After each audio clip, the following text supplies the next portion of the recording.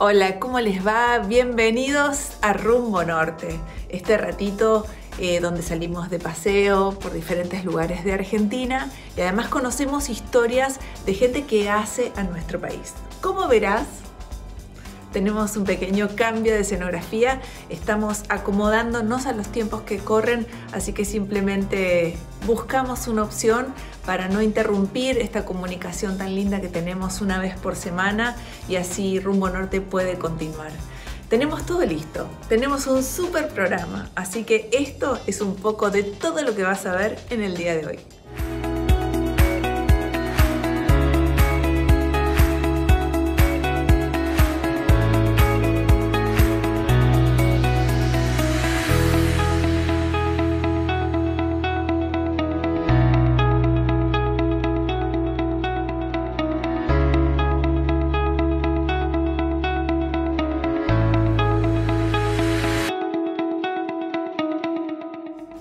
Entrar dentro del pueblo Pilagá, precisamente en la comunidad que está en la provincia de Formosa, y allí vamos a enterarnos de sus costumbres, de sus tradiciones, pero además vamos a conversar con el señor Vicente Domínguez, que nos va a contar acerca de cómo fueron dándose los cambios y cómo la gente se tuvo que ir acomodando a los nuevos tiempos.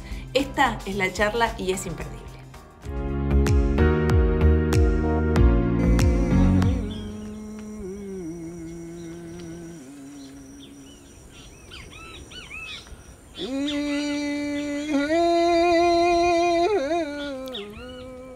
Tierras Pilagá fueron ocupadas por colonos y los indígenas que sobrevivieron a la guerra y a las enfermedades fueron utilizados en las plantaciones de algodón e ingenios azucareros como auxiliares de las fuerzas militares o deportados como prisioneros a la isla Martín García.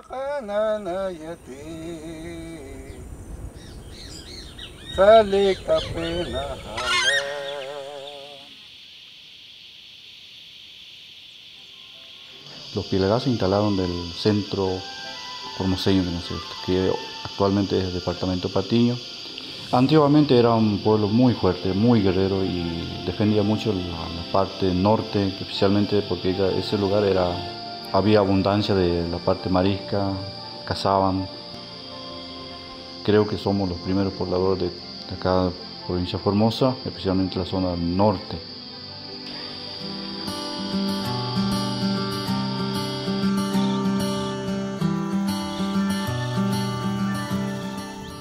Hoy por hoy el Pilagá se tiene que adaptarse a las cosas nuevas. Me refiero a las tecnologías, me refiero a la, la parte de educación. El Pilagá se tiene que demostrar que también es capaz.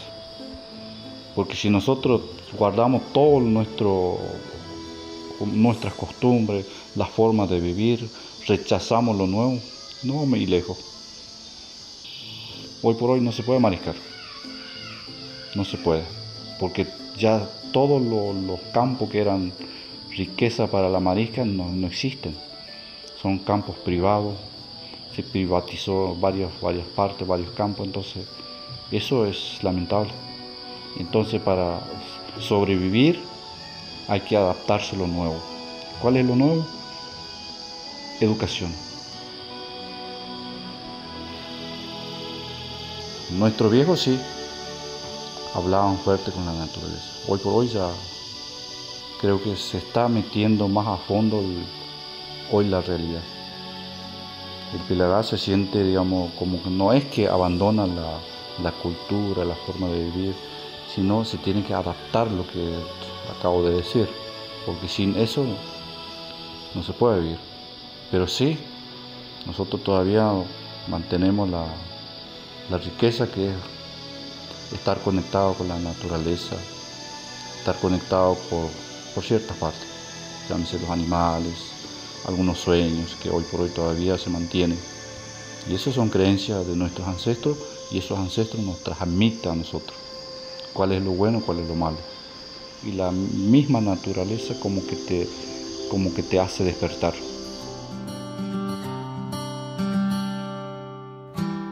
Los Pilagás son un pueblo indígena del grupo de los Guaycurúes que habitan el centro de la provincia de Formosa. Su lengua forma parte de la familia lingüística Mataco-Guaycurú y antiguamente fueron cazadores y recolectores.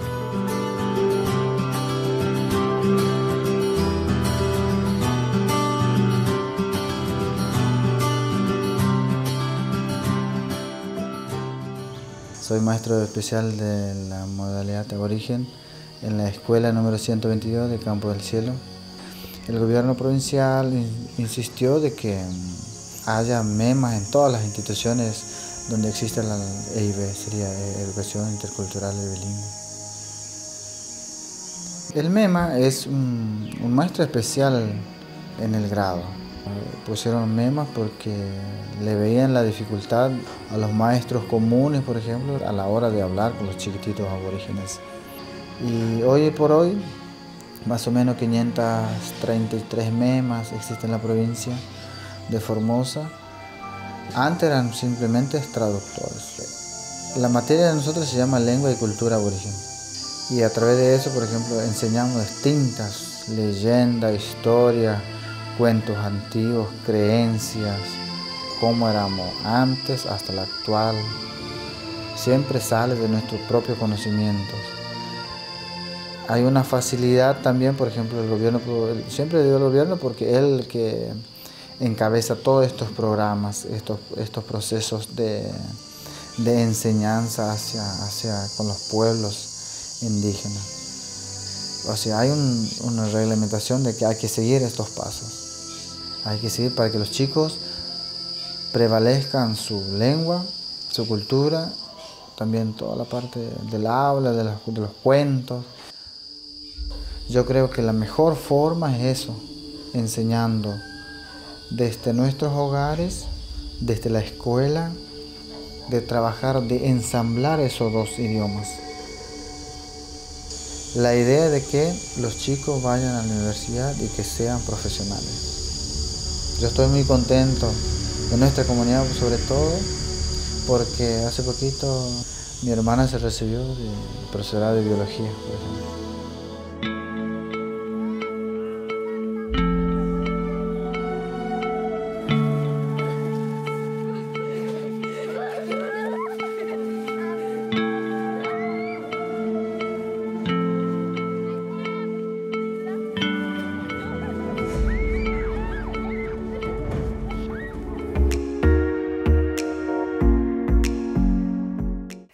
Llega el momento de conocer a Marisol Otazo. Marisol es una cantante folclórica que hace muy poquito sacó su último disco en el que habla mucho de ella, habla mucho de su historia en Formosa y además por supuesto de su pasión por la música. Conversamos con Marisol que nos cuenta también cómo fue su camino profesional hasta hoy ser la artista que es.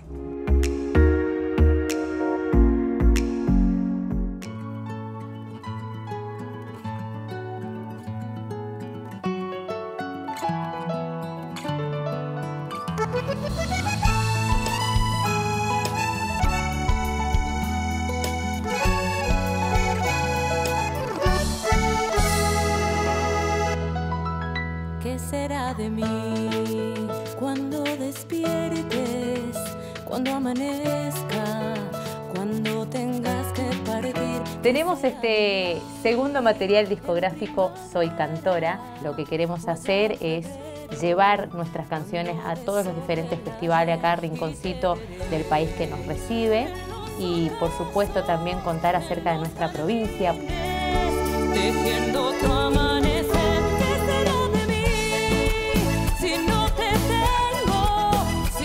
La letra en conjunto justamente describiéndome un poco cómo soy yo y también describiendo tanto las costumbres formoseñas como eh, la gente y, todo lo bello que tiene Formosa.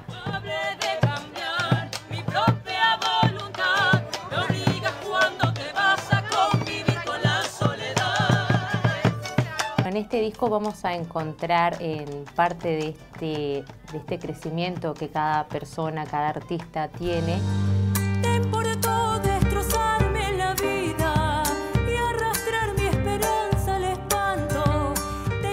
este disco plasmamos muchas canciones, tanto de autores formoseños como también me animé a componer mis propias canciones. ¿Qué será de mí en primavera o allá en febrero? Cuando deshoje el ayer y te veré.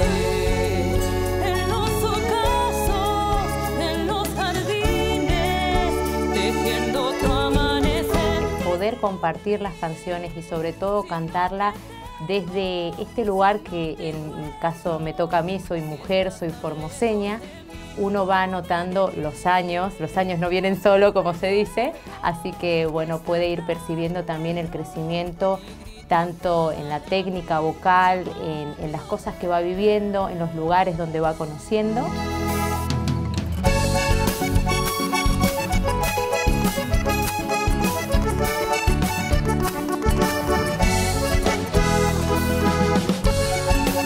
No hay nada mejor como contar tu canción y, y creo que lo podés transmitir de otra manera, ¿no? Entonces la gente cuando me ve arriba del escenario, creo que se puede transmitir eso también de, por ejemplo, contar en que la gente de Formosa es sencilla, en que Formosa tiene zapucay, que Formosa tiene un montón de, de cosas lindas. Uno personalmente, y yo cantándolo como formoseña, se siente, ¿no? Por eso estoy muy contenta de que este disco realmente me representa como cantante.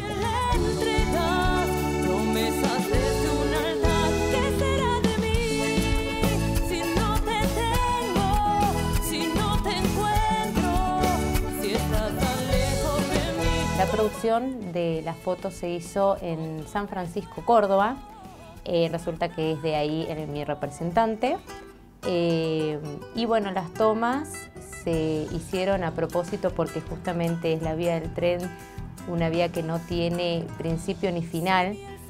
Y, bueno, es lo que quiero ser, como un tren que lleva canciones, que lleva esperanza, que lleva muchos sueños, como siempre digo, los artistas tenemos siempre la mochila cargada de sueños y tratamos de llevar a donde eh, Dios nos permite, por supuesto.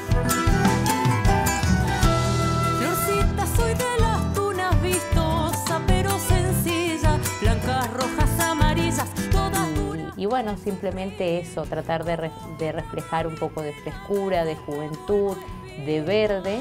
eh, y simbólicamente, digamos, eh, el camino y las vías del tren como algo infinito que, que la música no tiene fin y, siempre se puede apostar cada día más.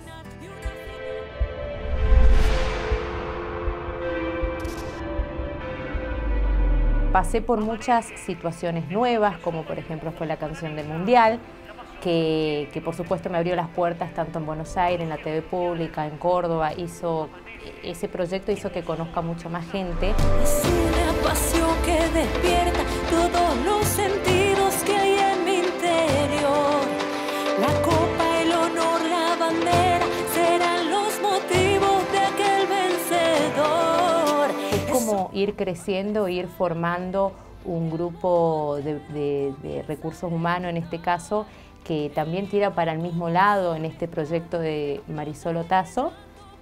Y, y, por supuesto, muy contenta de, de- de poder saber que todo el tiempo que uno realmente le dedica tiene sus frutos, más allá de que pasamos momentos, tenemos altibajos, en problemas con la familia, con el trabajo, con un montón de cosas, pero la música siempre te devuelve eso lindo de poder disfrutar y ir creciendo a la vez.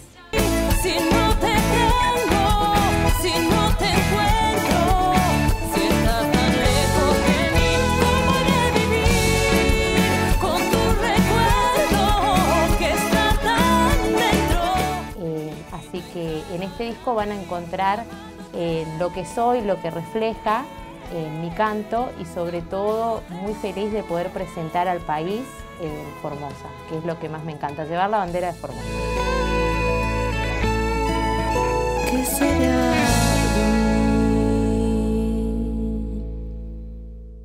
Con su emprendimiento de pastelería, Juan Kemper y su mujer se dedican a ofrecer esta riquísima comida, esta riquísima opción en diferentes festivales, ferias y eventos, convirtiéndose realmente en un clásico de la zona.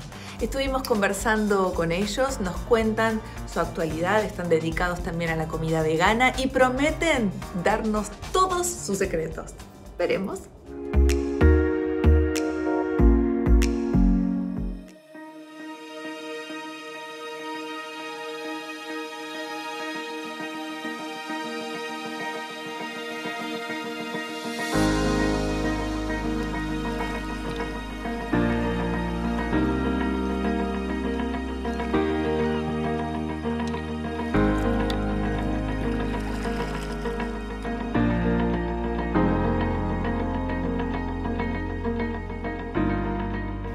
Hijo de agricultor,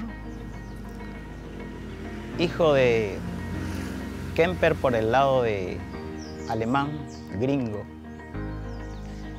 mi mamá correntina, por lo tanto mm, el ciclo primario lo hice en el campo, ciclo secundario y parte de terciario aquí en la localidad del Colorado. Y soy oriundo acá de- del Colorado.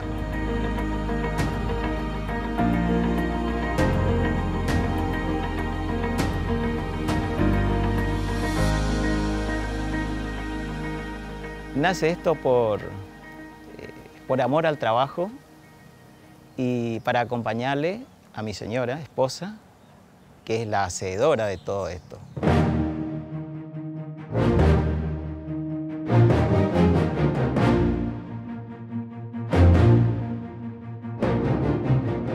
Nos hemos capacitado eh, para que mejore nuestra producción, tanto en, en lo que respecta a sabores y eh, a presentación eh, para la venta. Juan Kemper y su mujer realizaron una producción artesanal de pastelitos que presentaron en la primera feria gastronómica y de circuitos turísticos en Formosa. Surge de que siempre veníamos haciendo para los encuentros familiares y esto nos llevó así a nosotros a perfeccionar un poquito más de lo que estábamos haciendo. Y ya nos encargaba un vecino, otro vecino, el otro pariente. Y bueno, y esto vimos también como una hermosa salida eh, o una alternativa para generar un poquito más de ingreso.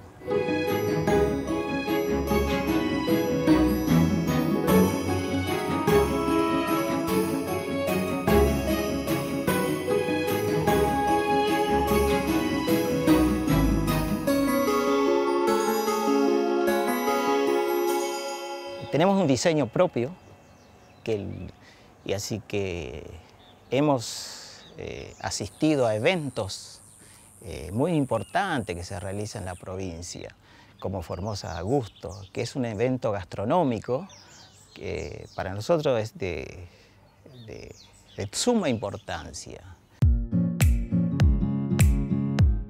Nos dedicamos a elaborar dulces eh, de las variedades que- de lo que hay en la zona, de los productos, y, y una variedad de productos también como escabeche, de berenjena, escabeche de pollo.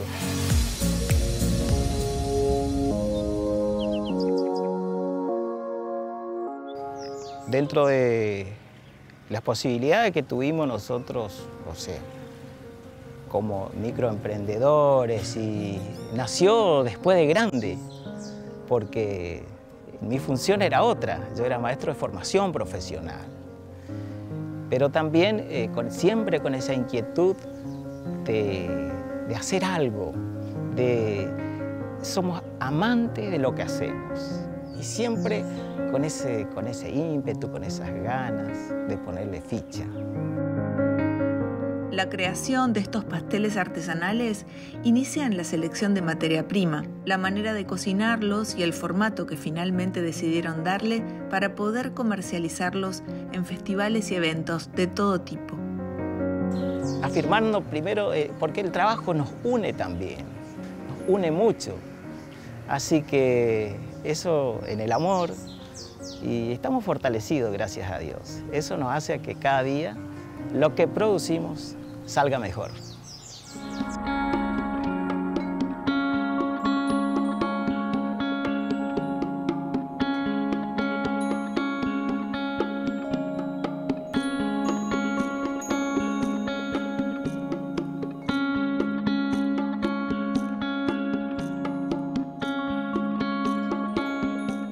muchas posibilidades más allá para los microemprendedores como nosotros. Hay puertas abiertas permanentemente. Hay que descubrir y hay que ponerle ganas.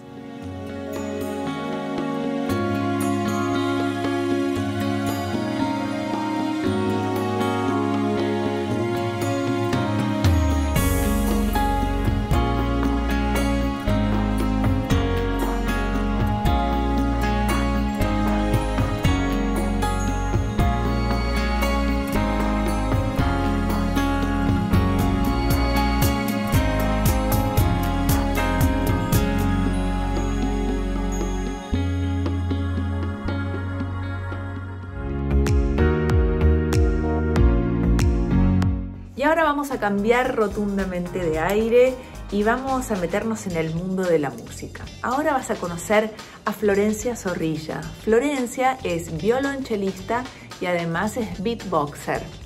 ¿Vos sabés lo que es eso?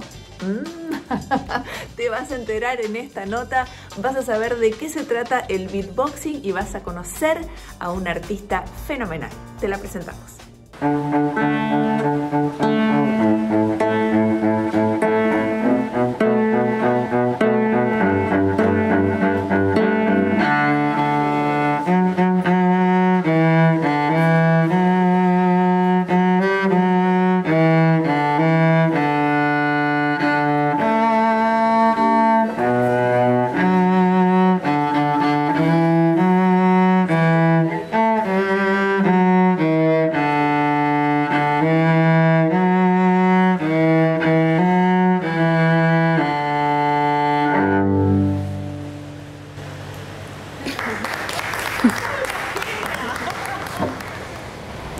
Hace nueve años eh, a tocar el violonchelo con la profesora Olga Juárez y todo empezó, yo era muy chica, no, no no conocía nada de música, hasta que vinieron mis hermanos que tocaban violín en ese entonces y me invitaron para ir a la orquesta. Florencia Zorrilla tuvo la oportunidad de participar en la competencia de beatbox alemán más importante a nivel mundial, representando de esa manera a nuestro país. Además, es violonchelista en la Orquesta Sinfónica Juvenil del Bicentenario de Formosa.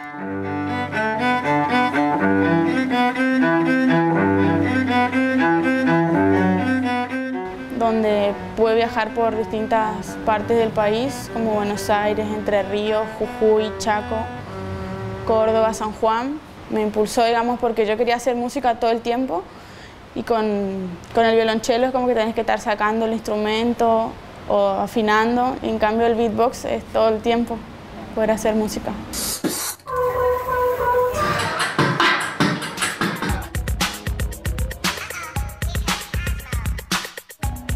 que el hip hop, digamos, tiene cuatro ramas, digamos. El graffiti, el baile, beatbox y freestyle, digamos.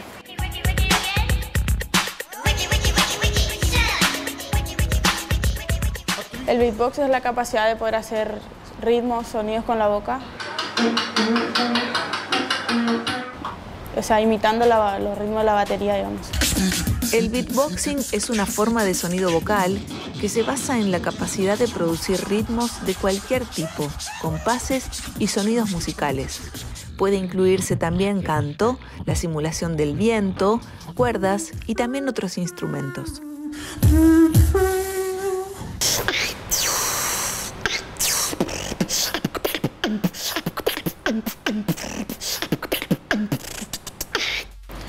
De ahí salió un flyer en, en Facebook donde decía que se hacía la competencia nacional Beat Duel en Buenos Aires.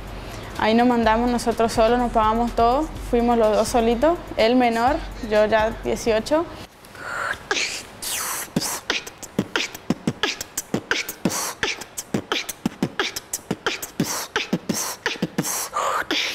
Y habían más de 100 chicos de todo el país.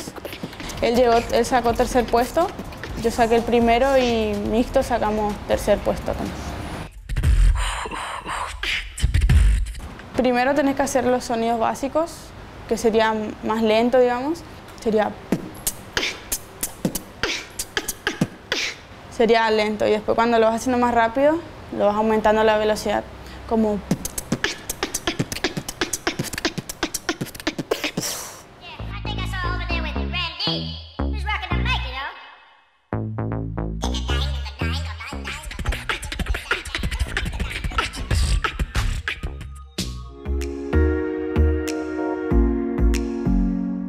así llegamos al final de nuestro rumbo norte del día de hoy.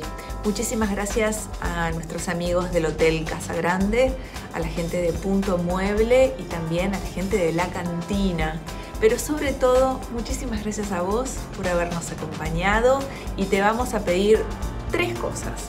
La primera, que nos sigas en Instagram en arroba rumbo norte TV. La segunda es que por favor te encuentres con nosotros dentro de una semana. Y la tercera y fundamental es que te quedes en casa. ¿eh? Esas tres cosas te pedimos. Te mandamos este beso enorme y nos volvemos a encontrar la próxima semana para irnos nuevamente rumbo norte.